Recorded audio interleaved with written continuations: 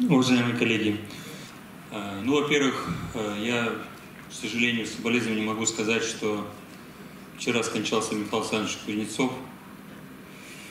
Вот, э, к сожалению, вот так судьба, жизнь устроена. Мы с ним только в среду были на послании губернатора. Вместе ездили, он со мной рядом был в машине моей.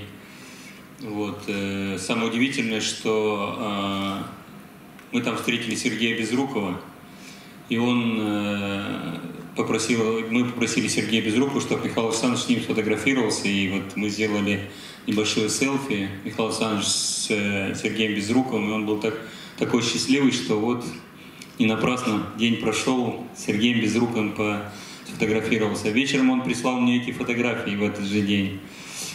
Э, более того, мы в пятницу здесь, в Доме культуры, во Дворце культуры, с ним были на Совете ветеранов фабрики Крафт. То же самое, вроде ничего не предвещало. Ну и вот видите, жизнь такая. Э, вот, на другой день он, к сожалению, скоропостижно скончался.